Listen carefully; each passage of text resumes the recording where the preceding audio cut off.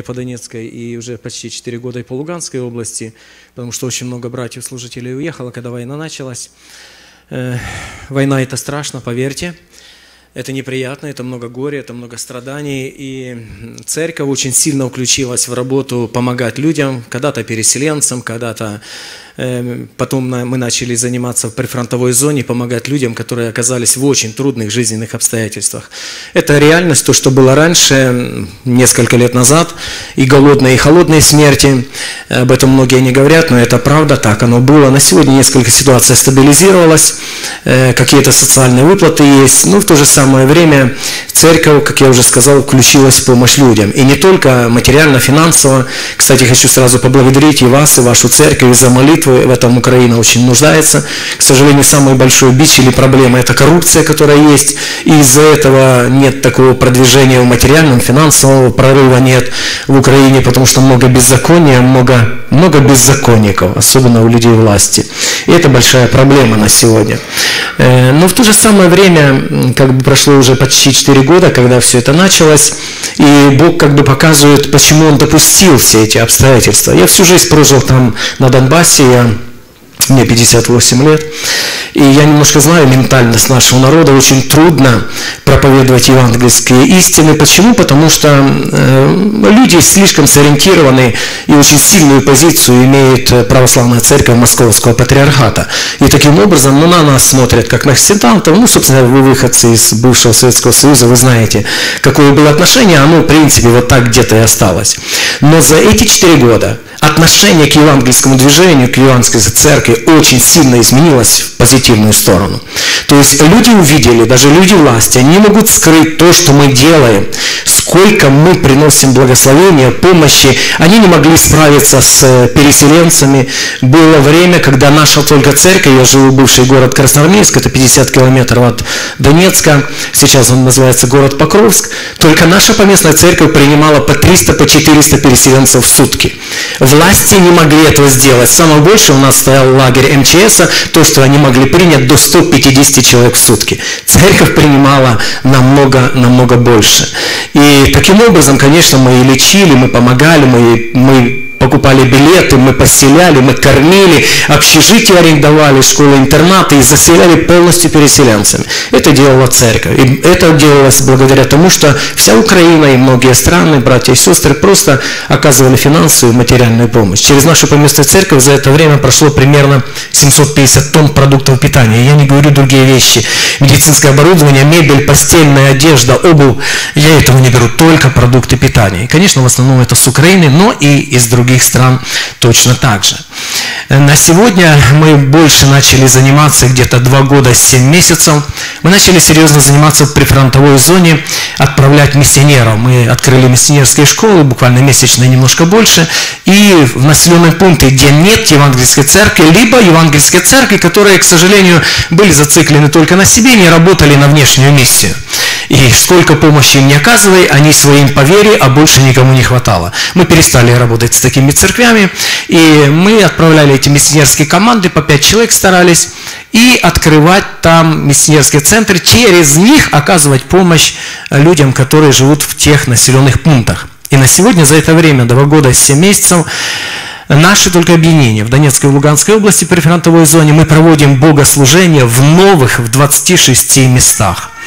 Более того, из этих 26 населенных пунктов на сегодня 15 новых церквей, я смело могу говорить, мы открыли. Слава Богу за это. Это нереально было, это невозможно было, если бы не было этой войны, этой разрухи. Люди, пережившие вот эти страдания, эти боли, эти разрушения, они сегодня открыты к проповеди Евангелия, они открыты к принятию Иисуса Христа как своего Господа и Спасителя. И в нашем объединении трудится больше 70 миссионеров. Конечно, их надо содержать, нужно арендовать, нужно все прочие моменты, это несколько стоит, и из, одна из целей, почему я в вашей стране, и в том числе Хочу обратиться, возможно, и к школе. Пусть приезжают на Донбасс, мы примем. Да, мы понимаем опасность. Я знаю, очень многие родители молодых людей не отправляют, боятся. Я понимаю эти реальности. Но мы стараемся несколько дальше от линии разграничения Ну и если кто-то пожелает трудиться, у нас есть, проезжают команды, вот сейчас в конце мая приедут, в начале июля приедет еще одна команда с разных церквей с вашей страны, потрудиться на миссии у нас там на Донбассе. Я благодарю Бога еще раз за ваше служение, молитвы, за всякую вашу помощь. Пусть Бог благословит вас. Я читаю место Священного Писания, это Псалом 43, со 2 по 8 текст. Я не буду на него проповедовать, но это как преамбула и к тому слову, которое лежит у меня на сердце, поделиться сегодня с вами. Боже, мы слышали ушами своими, отцы наши рассказывали нам о деле, какое Ты соделал в одни их, в одни древние. Ты рукой Твоей истребил народы, а их насадил, поразил племена и изгнал их. Ибо, ибо они не мечом своим приобрели землю, и не их мышца спасла их, но твоя десница и твоя мышца и свет лица твоего, ибо ты благоволил к ним. Боже, царь мой, ты тот же. Даруй спасение Иакову. С тобою избадаем рогами врагов наших, во имя Твое попрем ногами восстающих на нас. Ибо не на лук мой уповаю, и не меч мой спасет меня. Но Ты спасешь нас от врагов наших и посрамишь ненавидящих нас. Братья и сестры, в этом тексте Священного Писания, которое я прочел, автор этого послания, автор этого псалма 11 раз указывает на Бога. И он говорит, Боже, это не мы, это не я, это не наша сила, это не наш лук, это не наша мудрость, это все Ты сделал в нашей жизни. То есть он показывает, что только Бог, который являет свою милость, может давать определенные победы в жизни любого человека, либо в жизни любой нации, либо народа, в данном случае в истории израильского народа. Тема моей проповеди называется «Зависимость от Бога».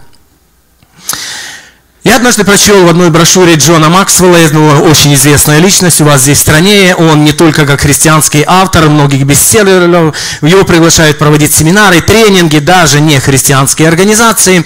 Это действительно известная личность. И вот что он сказал в одной где-то брошюре я прочел, это его статистика, это не моя статистика, что из 10 призванных на служение людей к 65 годам жизни в служении остается один человек – из 10 призванных на служение к 65 годам жизни остается один. 90% потери. И потери по разным причинам.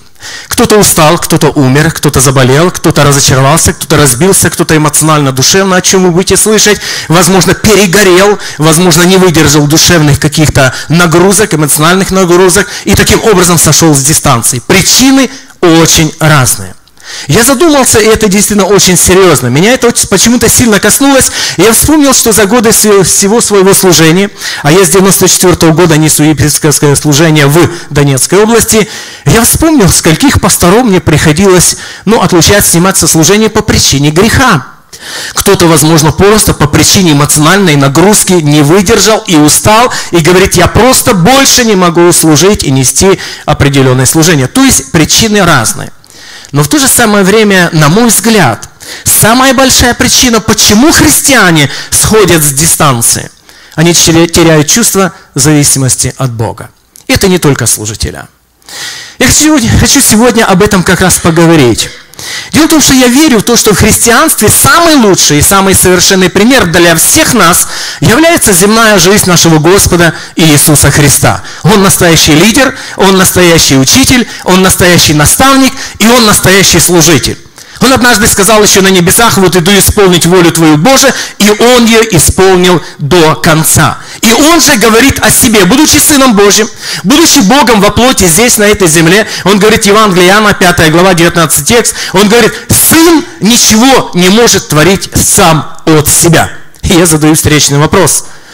Братья и сестры, всегда ли мы так поступаем? Если Бог во плоти Сын Божий говорит и свидетельствует, я никогда по своей инициативе ничего не делаю. Я вижу Отца Творящего, дальше он говорит 30 текстом, и поэтому я это делаю. Дорогие мои, всегда ли мы делаем только то, что говорит нам Бог? Он говорит, я не ищу своей воли, но я ищу волю пославшего меня Отца. И то, что Он мне поручает делать, я только это и делаю. И дальше в рассуждении, в размышлении говорю следующее. Дорогие мои, сколько проблем и ошибок в нашей жизни, сколько, возможно, боли, разочарований, а по той причине, что то мы по своей инициативе начали что-то делать, а потом удивляемся, что у нас не все получается, либо нет такого успеха, как хотелось бы, чтобы этот успех был. Апостол Петр в своем первом послании, э, во второй главе, он говорит о том, что мы призваны идти по следам нашего Господа Иисуса Христа. То есть Он пример, Он образец. И мы должны Ему подражать абсолютно во всем. Кроме того, сам Иисус Христос сказал, что без Меня не можете делать ничего. Я не знаю, насколько мы серьезно к этому относимся. Это просто слова, он сказал просто так, либо все-таки это инструкция к действию, либо э, тому, чтобы мы также поступали, осознавая, что доброго, хорошего мы ничего не можем делать без нашего Господа Иисуса Христа. Потому что Иаков говорит, что он, Бог, является Отцом всех миров, и от Него же исходит всякое добро. То есть добро приходит только от Бога. И сегодня, когда я буду проповедовать об этом и буду говорить некоторые личные свидетельства, я хотел бы, чтобы вы помнили три вещи, о которых говорит Божье Слово, ну, в этой теме, о которой я сегодня говорить. Первое. Апостол Павел говорит Римлянам 7.18, «Не живет во мне, то есть в плоти моей, доброго». Братья и сестры, мы должны осознать эту истину во мне, в моей природе, в моей плоти нет абсолютно ничего доброго. Об этом говорит Слово Божье. Не живет во мне, то есть в плоти моей доброго. Да, конечно, мы делаем какое-то добро. Но мы должны осознавать и понимать, что любое добро, на которое мы способны, которое мы делаем, это просто Бог нас использует при условии, когда я себя предоставляю Ему – и он тогда берет меня просто как инструмент и использует, и я могу сделать какое-то добро. Но в принципе во мне, как в человеке, в моей греховной природе, нет ничего доброго, не живет никакого добра. Второй момент который я хотел бы, чтобы мы тоже помнили, что без Божьей благодати ни у меня, ни у каждого из нас нет ничего, никакой способности делать что-то полезное, хорошее и правильное для Царства Божьего. Я еще раз повторю, без Божьей благодати мы не способны приносить какого-то добра, какой-то пользы в строительстве Царства Божьего, либо в Царстве нашего Небесного Отца. И третий момент. Я полностью я всецело зависим от Бога во всех сферах моей жизни. Помните, в Нагорной проповеди Иисус Христос, говоря о блаженствах, Он говорит, ну, можно вспомнить одну ситуацию, когда-то лечу я в Америку, в Соединенные Штаты Америки, и в Борисполе прохожу этот уже паспортный контроль, там пограничник сидит, и он мне задает вопрос, давно было еще, в 90-х годах, и он задает вопрос мне – а почему вы летите? Я говорю, я пастор, епископ, лечу по приглашению церкви и так далее. Хотя это его не мера ответственности, он должен проверить только паспортные данные всего лишь. Ну, парень, видно, решил поумничать и говорит, да, вы пастор, вы христианин, а вы можете мне сказать 10 заповедей Иисуса Христа? Но у меня, знаете, у евангельского христианина революция началась в мозгах.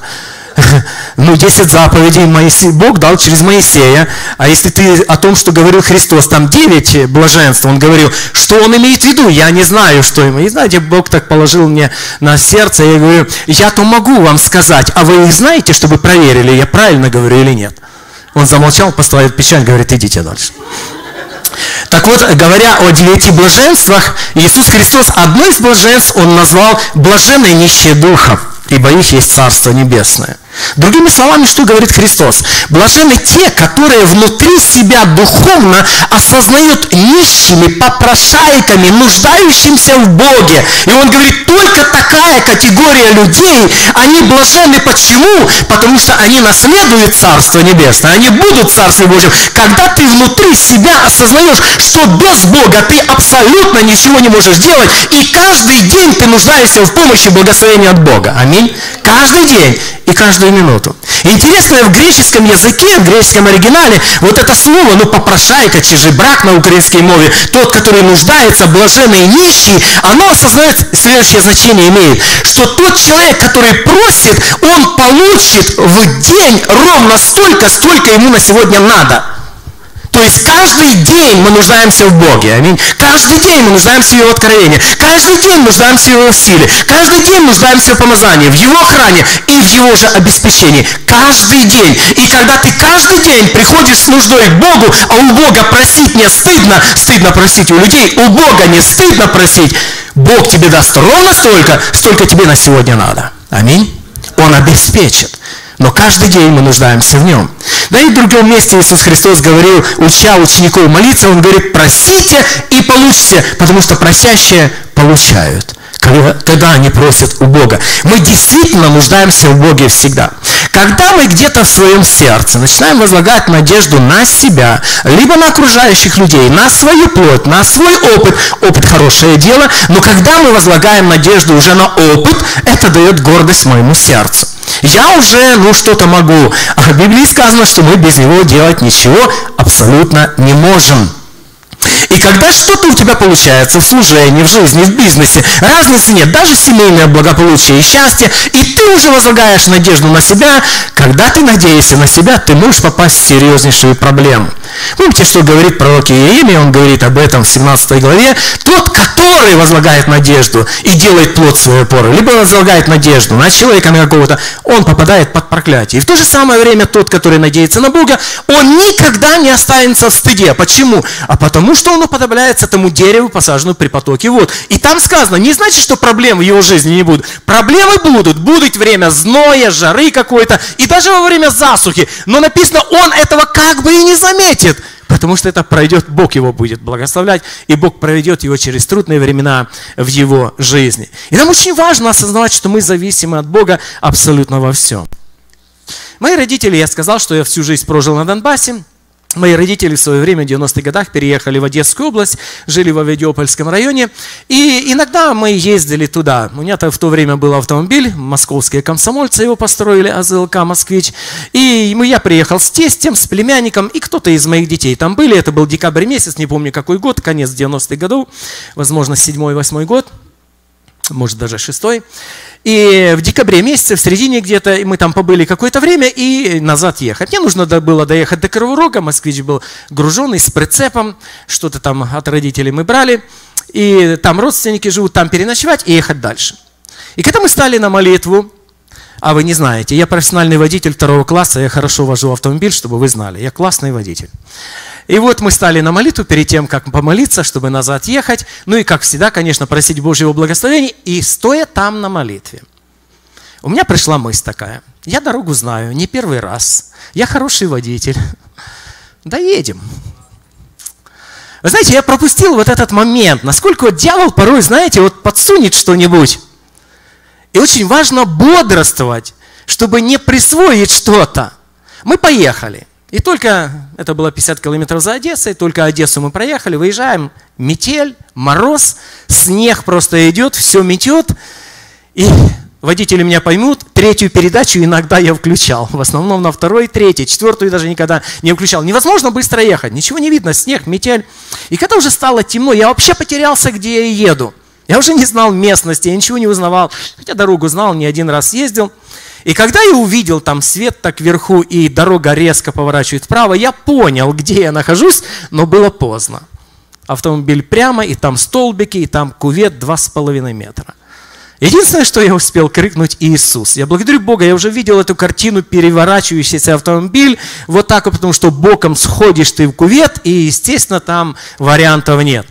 Бог помиловал, мы не перевернулись, просто съехали. Я сразу вспомнил ту молитву. Я хороший водитель, я дорогу знаю. Не первый раз приехали. Бог просто помиловал. Дорогие мои, когда я начал серьезно читать Священное Писание, мне очень нравится книга Экклезиасты, притчи, наверное, всем так. И в Экклезиасте я прочел, что даже такое благо, как есть и пить, не во власти человека. Я родился, вырос в христианской семье, но я в молодости не служил, я был грешником. А потом, когда обратился, я серьезно начал исследовать Священное Писание. И когда я прочел это место, что не во власти человека даже такое благо, как есть и пить, я был молодым человеком тогда, я никому ничего не говорил, но внутри меня я возмутился. Ну как это так не в моей власти? Но если есть что-то покушать, я захотел, пошел и покушал. Тебе хочется что-то выпить, пожалуйста, если есть, ты можешь попить то, что тебе хочется. Я не воспринял это слово внутри. Я еще раз скажу, я никому ничего не говорил. Но вы знаете, я благодарю Бога, что Бог очень мудрый учитель. Очень мудрый и очень добрый. Потом я прочел еще одно место, что не во власти идущего давать направление стопам его. И я тоже внутри думаю, ну как это не в моей власти? Ну куда я захотел, туда я и пошел. Ну как не в моей власти? У меня в армии была серьезная травма позвоночника, поясничного отдела. И когда я лежал днями, либо сутками, ну, месяцев не было, ну, до недели сроки были, когда я не мог ходить своими ногами, то я понял, что не во власти идущего давать направление стопам его. И когда ты серьезно болеешь, тебе приносят самое лучшее, самое тебе любимое, самые изысканные какие-то блюда, а тебе ничего не лезет. И я понял, не в нашей власти давать направление стопам. И даже такое благо, как есть, и пить, не во власти человека. Аминь. Бог очень мудрый учитель, Он учит на таких вот примерах. Ну, я вам перед вами исповедовался, вы же люди верующие, вы же никому не расскажете. Э, и тайну исповеди храните. Дорогие мои, на самом деле жизнь, она показывает, вот в таких, возможно, мелочах, хотя это не сильные мелочи были порой в моей жизни, но я вам скажу, Бог показывает, насколько мы зависимы от Бога. И какая большая проблема, когда я где-то что-то, какой-то успех Бог же дал тебе, либо мне, а мы это приписываем себе и забываем, что Бог ревнитель, и Он говорит, славы моей не отдам иному. Насколько важно всегда в сердце возлагать надежду на Бога, особенно служителям Божьим. Я знаю, что мы окружены людьми, у которых порой бывает очень много различных вопросов и проблем. И мы, как служители Божьи, мы обязаны, мы ответственны порой давать какие-то советы, наставления, либо мы какие-то учения говорим. И вы знаете, насколько важно осознавать даже, когда ты даешь совет кому-то, если он примет, ты ведь будешь нести ответственность за тот совет, который ты давал. И поэтому просто мысленно хотя бы обратись к Богу, Господи, дай мудрости. Ну что сказать, как подсказать? Я благодарю Бога, что мы имеем этого верного, надежного друга, наставника, учителя, который в Духе Святом всегда с нами. Аминь.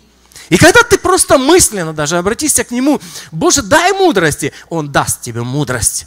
Он тебе поможет. И то, что будет тогда уже как бы от тебя, но это не твое.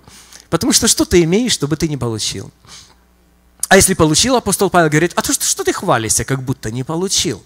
К сожалению, очень многие люди, они что-то тоже Божье помазание, откровение, милости, мудрость, которая приходит свыше, которую, которой Бог тебя благословил, они порой приписывают это себе.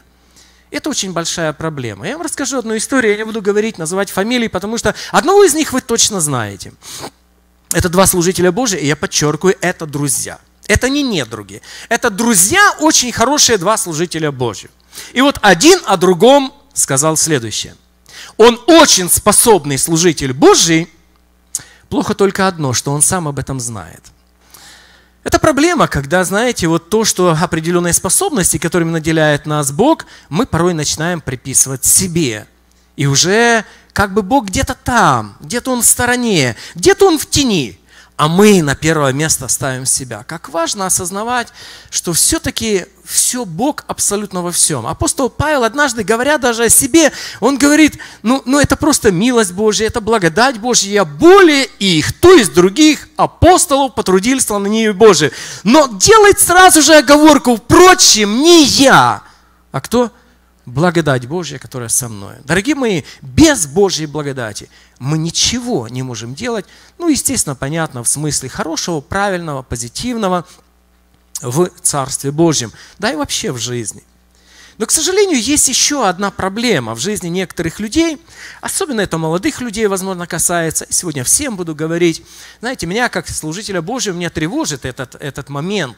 У нас сегодня вот то, что мы там делаем, то, что Бог делает через церковь свою, знаете, у нас серьезнейшая проблема – дефицит. Дефицит служителей Божьих. Просто серьезный недостаток. Конечно, да, многие уехали, я понимаю. Да, война – это страшно, многие уехали. И сегодня вот 15 новых церквей у нас нет пасторов. Кто желает пасторское служение нести, пожалуйста, приезжайте. У нас нет проповедника, у нас есть церковь уже открыта, но в принципе действующая церковь приезжает и помогает проводить богослужение, потому что в миссионерской команде молодые люди, хотя есть разные, шестеро детей оставили свои дома, переехали, трое детей, четверо, двое детей, есть разные, семейно, но есть в основном молодые люди, которые даже проповедовать не могут. И поэтому приезжают помогать проводить богослужение. Но Бог свою церковь строит. Слава нашему Богу. Да, недостаток служителей Божьих. И вы знаете, я вижу, что не только из-за того, что нет таких, которых Бог дал определенные способности либо дарования. Нет. Я верю в Божье Слово. Библия говорит, апостол Петр говорит в первом послании 4 главе, 10 и дальше текст, он говорит, что, ну, служите каждый тем даром, который получили, как добрые домостроители многоразличной благодати Божией. То есть абсолютно у каждого есть какое-то дарование, врожденная приобретенная способность, либо какой-то талант. У каждого есть, и мы призваны этим служить. Но, к сожалению, некоторые считают, что у них нет никакого дарования.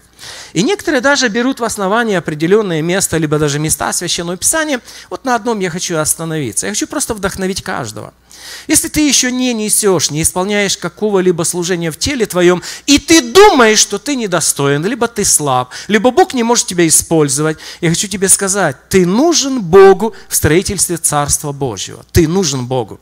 Бог не ошибается, когда нас призывает в свое Царство. И Бог очень мудрый работодатель. У него есть для тебя труд, у него есть для тебя служение в церкви своей. Поэтому как важно, чтобы ты понял и осознал.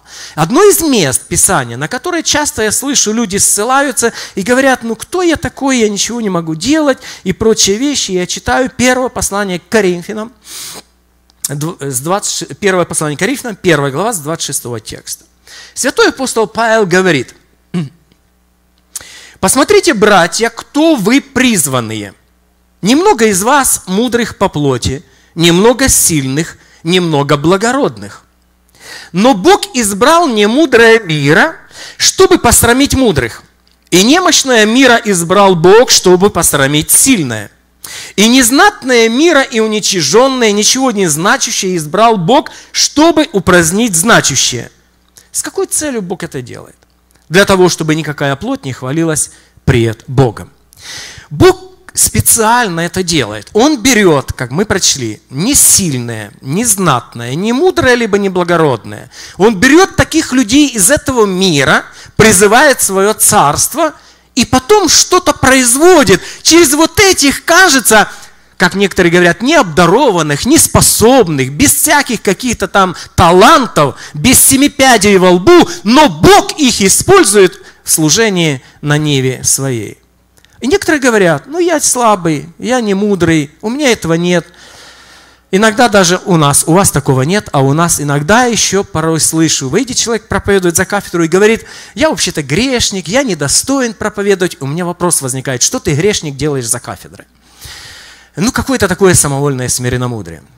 Дорогие мои, если мы внимательно читаем, то апостол Павел говорит – Братья, оглянитесь назад и вспомните момент вашего спасения, момент вашего призвания. На момент твоего призвания, на момент твоего спасения. Да, мы были не мудрые, не благородные и не сильные.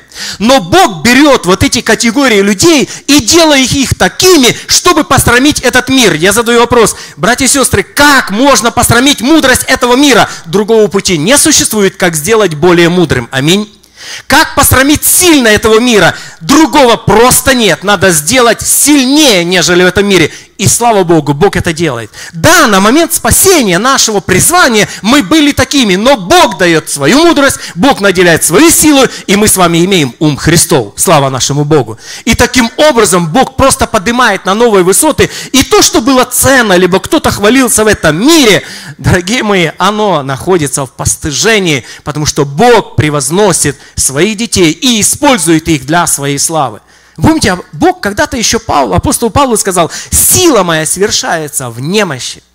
Когда ты осознаешь свою нищету в Боге, ты осознаешь свою слабость без Бога, без Божьего помазания, без Божьего откровения – народ не обуздан, Библия говорит. Но когда ты приходишь к Богу за помощью, Он наделяет тебя своей силой, своим помазанием, мудростью, благословением. И тогда с этой силой, как Гедеон он сказал, иди с этой силой, ты поразишь мадинчан, как одного человека. Слава нашему Богу. Бог берет, вот то незнатное, да я самый младший, и колено Вениаминова, оно самое малое, оно незначительно в Израиле. Что я могу сделать? А Бог говорит, вот с этой силой иди, ты поразишь.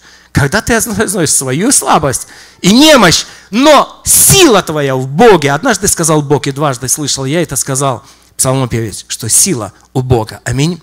Когда мы прибегаем к нему, я осознаю, я прошу, Боже, используй меня, я действительно слабый, я зависим от Тебя, без Тебя ничего не могу сделать. В 40-летнем возрасте Моисей был умный, сильный и красивый. Помните, да, эту ситуацию? Он научен всей премудрости египетской написано, в 40-летнем возрасте. И когда он вышел посетить своих братьев, и когда он увидел, когда египтянин обижал израильтянина, он взял и убил его. Там написано в Деянии Святых Апостолов, в 7 главе, написано, что он думал, что они поймут, что его силой он приносит избавление. Но, дорогие мои, это был не тот метод, который Бог избрал, чтобы избавить израильский народ от египетского рабства.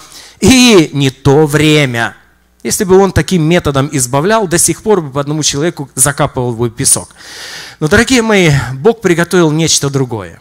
Когда ему было 80 лет, вот Бог сказал, вот теперь ты готов. 40, наученный, сильный, при власти, принц Египта, ты не не способен. Ты не можешь. Я не могу, говорит Бог, тебя в этом возрасте использовать в таком состоянии. Но когда ему стало 80, и он говорит, кто я? Я косноязычен. Я не могу. Боже, пошли кого-то другого. А Бог говорит, вот теперь ты как раз созрел. Вот такой ты мне нужен. Когда ты зависим от меня и понимаешь, что ты сам по себе по плоти ничего не можешь сделать. И Бог очень сильно использовал и поставил его вождем израильского народа. Очень коротко 11 глава послания евреям, вы помните, глава веры, да? Глава мужей, извините, и жен веры. И там целый перечень. Очень коротко на некоторых мы с вами остановимся и посмотрим. И хочу выделить одну примечательную деталь, которую, к сожалению, не все замечают, когда они говорят, я не могу, я слабый, я не способный, у меня нет дарований, либо еще что-либо. Дорогие, мы посмотрим, каких людей Бог использовал для своей славы. Евреям, 11 глава, автор этого послания говорит с 32 текста. И что еще скажу? Не достает мне времени, чтобы повествовать о Гедеоне, о Вараке, о Самсоне и Ефае, о Давиде, Самуиле и других пророках которые верой побеждали царство, творили правду, получали обетование, заграждали уста львов, угошали силу огня, избегали острия меча, были крепки на войне, прогоняли полки чужих. Нам нравится, они были героями, они были победителями. Я одну фразу упустил. Я ее специально не прочел. И я сейчас прочту. И за них же за всех сказано, они победители, они герои, они сильные. Они действительно были благословением для Божьего народа, и они были в армии Божьей. Но за них всех сказано, укреплялись от слабости, укреплялись от немощи. Дорогие мои, они на самом деле были слабыми людьми. И они себя такими видели, и такими они себя понимали. Если очень коротко, вот все эти библейские персонажи, очень коротко, просто, знаете, так тезисно, потому что вы все знаете, тезисно пройдемся по этим героям веры, и мы увидим, кто они были и какими их Бог сделал. И я еще раз повторяю, причина в чем? Они понимали свою зависимость от Бога. Вот это чувство зависимости они пронесли сквозь свою жизнь, через свою жизнь. Гедеон – то, что я уже говорил. Что он говорил о себе?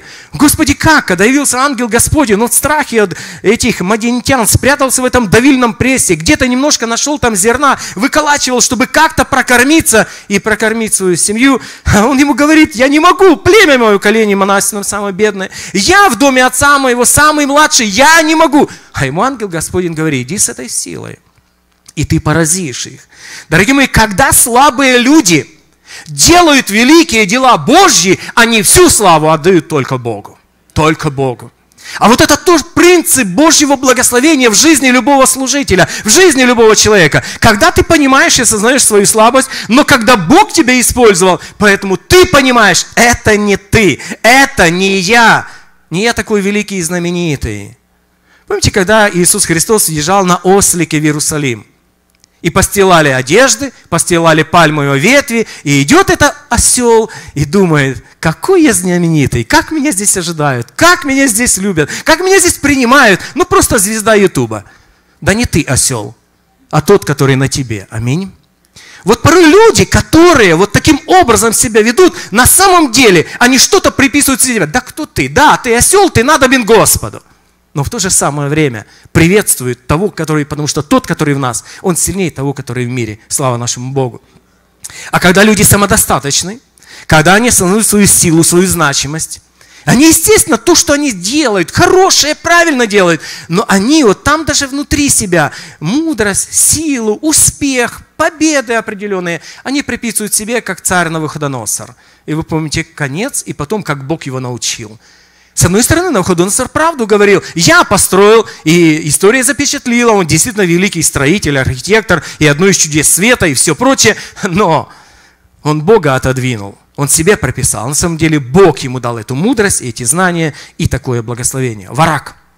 Варак, он был командующий армией, мистер обороны, как хотите его назовите, в то время, когда судьей была Девора в израильском народе. И вы помните, когда она ему сказала, что иди, ты поразишь, ну, война против Сесары была и так далее, то что говорит Варак? Вы знаете, будучи министром обороны, либо главнокомандующим армии, он понимал, несмотря на то, что Девора, женщина – но она была судьей, и он понимал, Бог с ней.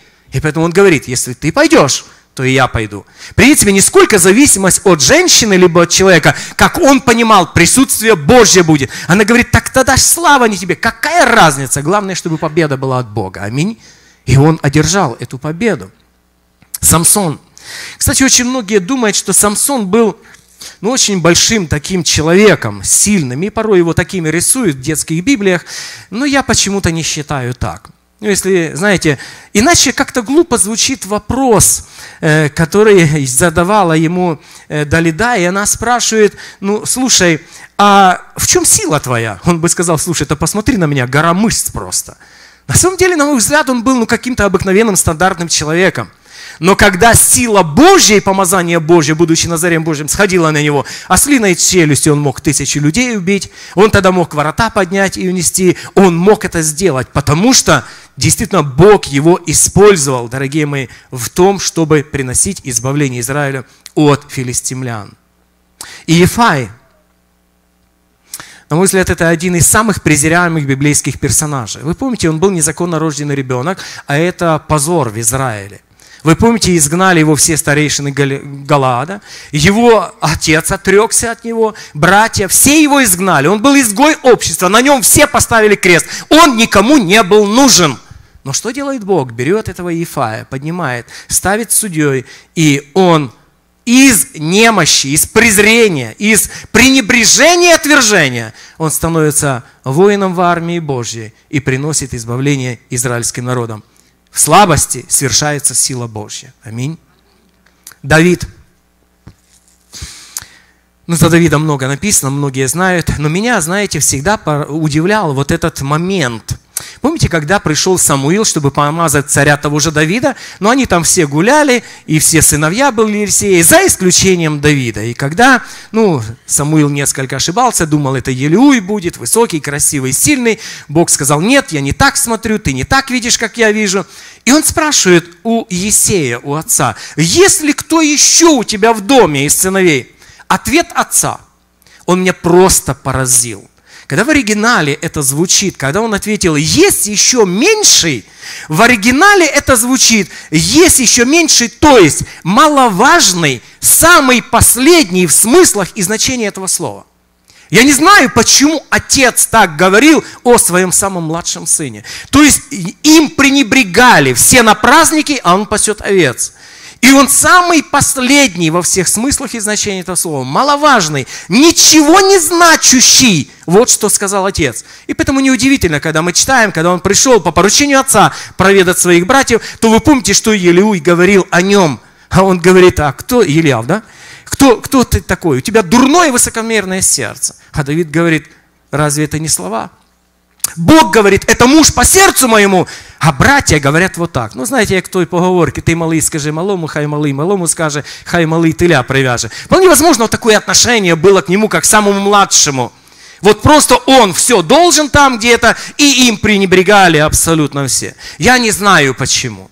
Некоторые исследователи Библии утверждают, что он был тоже незаконнорожденным ребенком. На основании, я, я не говорю этого, я не знаю. На основании того, что в 50-м псалме он говорит седьмым текстом, «Вот тебе в беззаконии зачат, и во грехе родила меня мать моя». И сторонники этой теории или гипотезы, предположения, они говорят, если он в законном браке, то почему в беззаконии зачат, и во грехе родила меня мать моя? Но самое главное – то, что он тоже был слабым. Он был пренебреженным в семье. Он был невостребованным. А если востребованным, то только как пастух. И все. Но Бог берет этого юношу и делает его сильным воином своим. И его задачу или задачу Божью Давид в своей жизни выполнил. Аминь. Он расширил границы пределов Израиля. И в принципе все враги всех врагов Израиля он успокоил. И потом уже наступил золотой век э, сына его Соломона. Он делает, делается сильным. И знаете, свою зависимость от Бога он демонстрирует. Не один раз мы читаем, как Давид вопрошал Бога, говорит, я догоню или не догоню врагов моих? Я одержу победу или не одержу? Он постоянно обращался к Богу за вопросом, за советом, за силой и за помощью. Это показывает, насколько Давид был зависим от Бога, и поэтому он делает его, Бог делает его сильным воином своим. Самуил, во время духовного упадка, деградации израильского народа, Бог берет этого мальчика, потому что Илья священник, вы помните, он просто был, ну, сыновья развратились его. Он ожиревший, он бесчувственный, он, ну, не духовный такой. И Бог просто-напросто отвергает его от, от, от э, той позиции, которую он занимал. Но он берет маленького мальчика, и в это время он делает его великим пророком Божьим. И вы знаете, я обращаюсь к тем, которые, возможно, списали себя со всех счетов. Вы думаете, что Бог не может вас использовать? Исследуйте жизни, вот эти библейские персонажи более подробно, изучите и вы увидите. И не только они, но и другие. Почему апостол Павел даже говорит молодому Тимофею, своему ученику и последователю, и о котором он потом говорит, он делает такое же дело, как я. Но кем он был? Молодой, молодой человек. И он говорит, чтобы никто не пренебрегал юностью твоей, но Бог делает его успешным, несмотря на его молодость. Насколько важно, чтобы мы осознавали, что Бог в любом возрасте может всех нас использовать. Многие в церкви, к сожалению, списали себя со счетов. Они поверили лжи дьявола. Ты не можешь, ты не способен, ты слабый, ты никому не нужен, ты не востребованный. И без тебя обойдутся. Дорогие мои, Бог нуждается в тебе. Он что-то вложил, определенный ресурс, определенный, э, определенное дарование в тебе вот тот, тот капитал, который есть внутри тебя, Бог ведь не для тебя его вложил, а для того, чтобы ты это использовал, высвободил эти все ресурсы для славы Божией, чтобы Бог был прославлен через твою жизнь и через твое служение. Ты, Бог может тебя использовать. Ты не ошибайся в этом. Все, что нужно делать, укрепляйся силой благодати Божией и Его могуществом. Укрепляйся Господом. Просто прибегай к Богу, и Он тебя будет использовать, и ты будешь Его прославлять. Богу действительно нужны пустые сосуды. Я не знаю, чье это выражение, но кто-то сказал следующее. Чем больше пустоты ты предоставишь Ему, то есть Богу, тем больше Его полноты ты сможешь принять.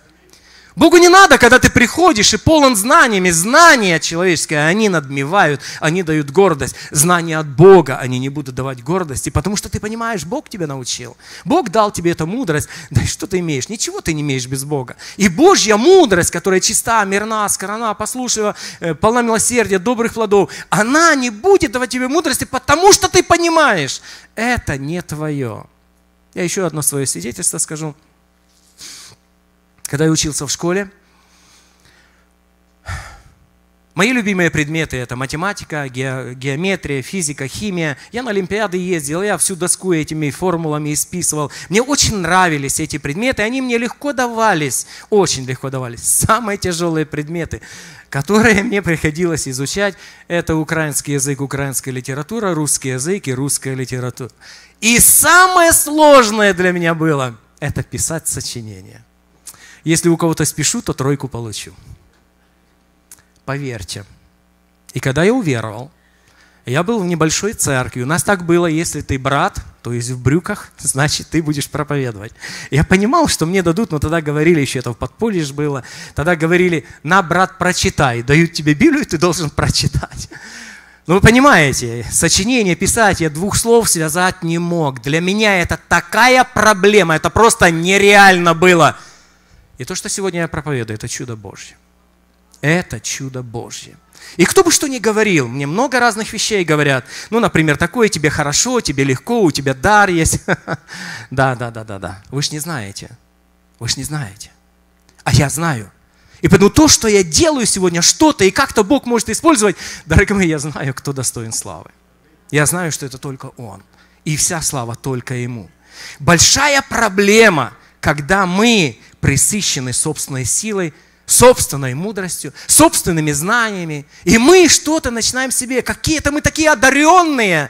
Дорогие мои, да все же Бог дает. В любой сфере твоей жизни у тебя успешный бизнес. Благодари Бога, не забывай никогда. У тебя счастливый брак. Благодари Бога.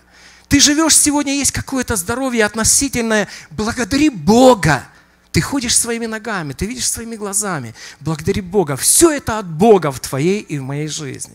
Насколько мы должны быть благодарны Богу, осознавая, я зависим от Бога. Я ничего не могу сделать, дорогие мои, потому что когда ты вот то, чем Бог тебя наделил и благословил, и ты это извините, приписываешь себе, что ты другими словами делаешь. Ты как бы говоришь, Боже, да я сам могу это делать. Один из служителей Божьих, тоже не буду называть его фамилию, возможно, он уже на небесах, он сказал к концу жизни, я его хорошо знал, и он сказал к концу жизни, я такой имею большой опыт в служении Богу, что некоторые вещи я могу делать без Него. Дорогим, это большая проблема. А ведь сколько есть тех, которые этого не говорят. Но внутри это есть. В мыслях это есть. Я могу. Ну, пойдем сразимся, как вчера и третьего дня. Помните, да? Надменность, гордость, мы сами. А Бог говорит, нет, меня там нет. И все. Если Бога не будет, будет обязательно поражение в твоей жизни. Дорогие мои, как важно осознавать, мы все целы, мы полностью зависимы от Бога. И вот это чувство зависимости от Бога, когда ты проносишь через всю свою жизнь, свое служение, ты ставишь Бога на первое место в своей жизни. И это есть отдание почтения Богу и осознание своей слабости в Боге. Как только мы прибегаем к собственной силе, к собственным ресурсам, мы ограничены, и мы теряем связь с небесными ресурсами. А мы по себе, мы мало что можем сделать. И порой это будет неуспешно и не будет так благословенно. Второе послание Коринфянам, 4 глава, с 5 текста апостол Павел говорит, «Мы не себя проповедуем, но Христа Иисуса Господа, а мы рабы ваши для Иисуса». Потому что Бог, повелевший из тьмы воссиять свету, озарил наши сердца с какой целью? Чтобы просветить нас познанием славы Божией в лице Иисуса Христа. И дальше святой апостол Павел говорит, но сокровище это мы носим в глиняных сосудах, чтобы преизбыточная сила была приписана Богу, а не нам. Дорогие мои, мы, ну глина, глина есть глина. Чем ты можешь хвалиться, глина? Глина и все. А то, что внутри, это то, что Бог тебе дал. И поэтому все то, что ты можешь делать, всю славу давай только Ему. Царь Ози, я заканчиваю, мы будем молиться. Вторая книга Паральпинон, когда мы читаем 20, 26 главу, я два текста всего лишь, пятый и шестнадцатый. Обратите внимание, и, кстати, вот по такой схеме, ну, извините за это выражение, некоторые действуют христиане. Когда мы приходим только к Богу, когда только начинаем что-то делать, ни опыта, ни знаний, ничего нет, мы понимаем, мы трепещем пред Богом всей внутренностью, и выходя особенно проповедники, и колени трусятся, и переживания, и волнение, во рту пересыхает, и прочие вещи. И слава Богу за такое состояние. Бог их использует и дает свою благодать. И вот Озия, царь, хороший царь, пятый текст, прибегал он к Богу в дни Захарии, поучающего страху Божию – и в те дни, это в начале царствования, когда он прибегал к Господу, споспешествовал ему Бог. Бог его благословлял. Но когда, 16 когда он сделался силен, возгордилось сердце его на погибель его. И он сделался преступником пред Господом Богом своим, ибо вошел в храм Господень, чтобы воскурить фимам на алтаре кадильном. Он занялся не своим делом. Он делал то, что он не должен был делать. Корень, причина возгордилась сердце. От чего? От положения, от славы, от уважения, от успеха, от побед, от всего. Братья и сестры, моя молитва к Богу вместе с вами. Чтобы молиться Богу, чтобы Бог удалил вот эту всякую гордыню, всякую надежду на себя. И чтобы мы всегда осознавали, я зависим от Бога, я нуждаюсь в Боге. И только Бог может меня использовать для своей славы. Аминь. Будем молиться.